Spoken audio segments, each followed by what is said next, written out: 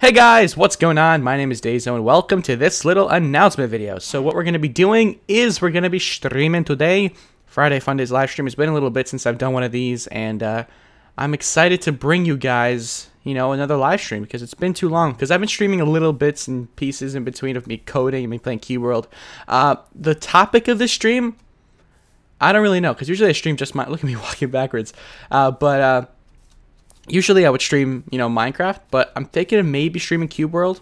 That might happen. But yeah, the game is amazing, and uh, yeah, we renamed the game to Cube Shock. That's the new name of the game. Everyone call it Cube Shock now. All right.